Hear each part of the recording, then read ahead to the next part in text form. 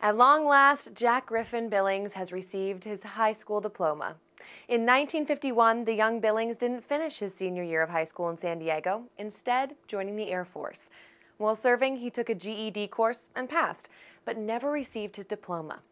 Now 83 and living in Alabama, Billings recently received that document.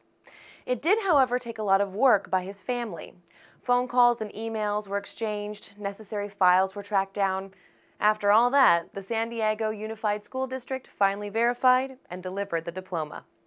This just goes to show that people will go out of their way to help veterans whenever possible in recognition of the sacrifices they made for their country.